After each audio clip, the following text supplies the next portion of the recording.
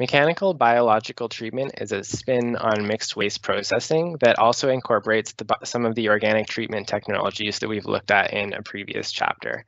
So it refers to a whole variety of technologies, really anything with both mechanical and biological components will be referred to as MBT. Um, in my opinion, the plant MBT plants that are the most effective really exploit the advantages of the biological treatment to enhance the me mechanical treatment.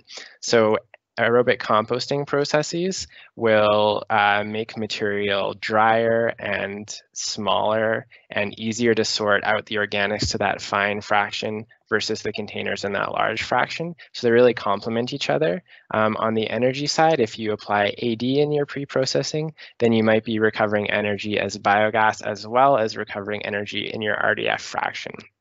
So there's a whole diversity of MBT technologies, um, but they all use what we've looked at for our MRF as their equipment, as well as what we looked at in our organic waste treatment for the organic side. And there's a few examples of facilities that use different organic components. Um, so I'll post videos for these three. Um, here's one in Greater Manchester, which uses wet AD as the biological fraction.